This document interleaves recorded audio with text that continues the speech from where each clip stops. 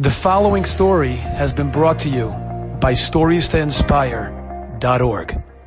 In Sao Paulo, there are many, many wonderful Svardish Yidden. And they have an organization, about two organization called Shalom. They were having a 10th anniversary dinner, and they asked me to be the guest speaker. After the dinner, somebody comes over to me, a guy, Charles Abulafia, and he says to me, Rabbi, I got to tell you a great story that you're going to print. Now, I hear that every day and twice on Sunday. And not only that, usually when somebody tells it to me after they tell me the story, he says, You want to know how to print my name, how to spell my name? Right? Isn't that what happened tonight at the restaurant?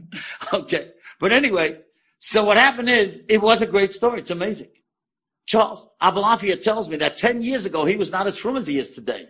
Because today, because of the Shalom Kiruv organization, he became much frummer. But he was somewhat frum.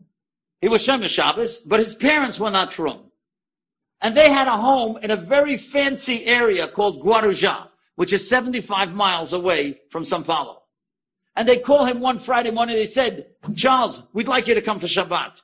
Now we know that you're observant. There's a synagogue not far. It's an Orthodox synagogue. Come to Guarujá and you'll be with us for Shabbat and you'll be able to pray in your synagogue. So he told me it's very, very dangerous in Sao Paulo. You cannot even walk into a shul from the outside. You walk into like a little cubicle and they video you and you're locked on both sides. And once you get the okay, then they'll snap open the other door for you. Same thing in an apartment building, same thing in any school. There's no such thing. You just walk in to a building in Sao Paulo. And there's no major highway going down to Guarujá. It's only one lane this way, one lane that way. Nobody would dare stop on a highway because they could be carjacked or killed or robbed. So of course he made sure that he had enough gas to get there. But he didn't realize that he had to check his tires also. So after 60 miles, he got a flat tire. Now there's only favelas, which they call slum areas. Now he stops on the highway. He says, Hashem, please, I don't want to be mechalel Shabbat. I don't want to lose my life. What should I do? I can't get out of this car. Nobody stops for him. So he had to get out of the car. And of course, nobody was going to stop because they thought he's like a ruse. He's just trying to, you know, kill somebody else. So after a few minutes, he decides, listen, it's getting close to Shabbos. He's got to go. So he gets into his car. He drives very slowly for a minute and he goes into one of these slum areas. The second he comes with his nice car into the slum areas, all the little boys and the girls, the cats and the dogs and the guys without the shirts, you know, these real lowlifes, they come over to him. What are you doing here? They're all speaking in Portuguese. That's the language. He says, look, I, I got a flat tire. I got to get to Guarujá before sunset. Could somebody help me fix the flat? Nobody could help him. They tried. There wasn't going. So he told me he saw an old car, like a 30 year old car. He said, whose car is this? The guy without the shirt says, it's mine. Why? He says, look, I trust you. I'm going to leave my car here. I know it's a good car. I'm leaving it here till Sunday. Get me, come with me in that car, drive me. I'll pay you anything you want. Just get me to Guarujá before sunset. So they make a deal, and the guy says, okay, let me get my shirt. He says, there's no time. Get into the car. We got to go right away. So now he's driving with this guy without a shirt, and they're flying down the last 15 miles to get to to get to uh. Now he figures he's got to explain something to him.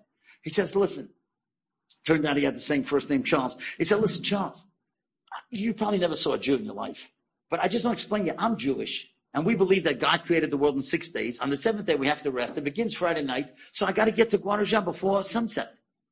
So the driver without the shirt says, Oh, you don't think I know what a Jew is? I'm not Jewish, but my mother's Jewish. He said, what are you talking about? What do you mean? Now, he didn't them that he's Jewish. He thought I'd throw him out of the car. He said, what do you mean your mother's Jewish? He said, you know, my mother was born in Holland at the end of the 1930s. And when she was eight years old, the Germans started making trouble for Jews. So my grandparents, they got out of there. I Taka looked it up. There were boats that came from Holland to Brazil. And they landed in Santos, which is right next to Guarujá. It's a Christian city. They didn't want to have any connection to Judaism. They put her in a Christian school in a Catholic school, and she was raised Catholic. She married a Catholic, and all of us are all Catholic. She's Jewish. He says, he says, I, I, can't, I can't believe it. He says, your mother's still alive? She says, yeah, she's in a hospital in Santos. She's dying. She's very sick.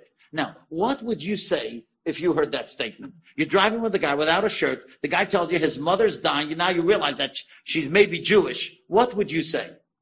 Most of us would say, God should help her. She should be well. That's not what he said. You know what he said? Could I go visit her Sunday morning? The guy almost fell out of the car. You want to visit my mother? You don't even know her. No, but you said she's Jewish. And I'm Jewish. So if she's Jewish and I'm Jewish, Jewish people take care of each other. I feel I should go visit her. And after that, I'll come to pick up my car. He said, You're amazing. I don't believe it. He says, I just want to tell you, it's a very dumpy hospital. She's on the third floor, bed number 10, but it's awful. He says, It's okay, I'll go. And he takes him, he gets him there before sunset. And Charles Abulafia is such a sensitive guy. He told me, I felt so bad that this guy was driving back now because he was driving on Shabbos. Now I know he's a Yid. What was I going to tell him?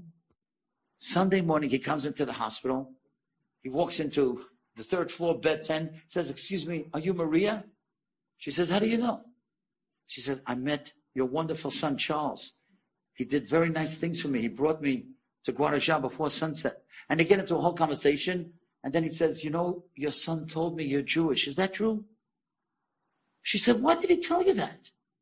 Said, Because I told him that I'm Jewish. And he told me that you're Jewish. She said, Yeah, it's true. He says, Maria, do you remember anything from your youth about being Jewish? Listen to what she says. She closes her eyes and she starts saying in perfect Hebrew, Baruch atah Hashem, Elokeinu melech ha'olam, asher kiddishonu, b'mitzvoisa v'tzivonu.